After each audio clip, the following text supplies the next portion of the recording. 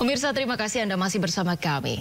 Pemirsa PSSI resmi meluncurkan dua jersey baru Timnas Indonesia. Ya kedua jersey Timnas mengusung warna kebesaran Indonesia yakni merah dan putih.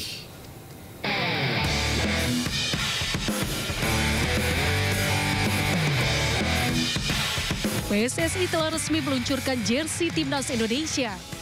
Jersey ini mengusung warna kebesaran Indonesia yakni merah dan putih. Untuk kostum utama pemain non-keeper menggunakan warna dasar merah dengan motif lingkaran putih di kerah dan di lengan.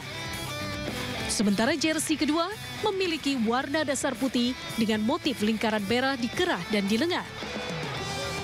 Artinya yang membedakan kedua jersey tersebut hanyalah pada warnanya saja. Hal itu jelas berbeda dengan jersey timnas sebelumnya yang punya karakter masing-masing dengan berbeda motif dan warna.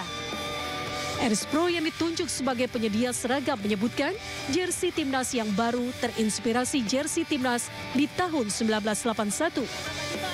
Sekedar info saja, kala itu timnas berhasil mengalahkan timnas Jepang dalam laga persahabatan.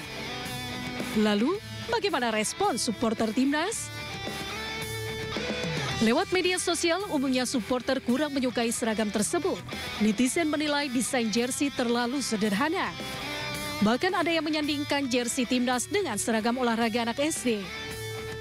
Sementara itu, pelatih Sintayong menyoroti jersey latihan timnas. Menurut pelatih asal Korea tersebut, jersey latihan bahannya belum bisa menyerap keringat sehingga cukup mengganggu pemain. Nah, bagaimana menurut pemirsa?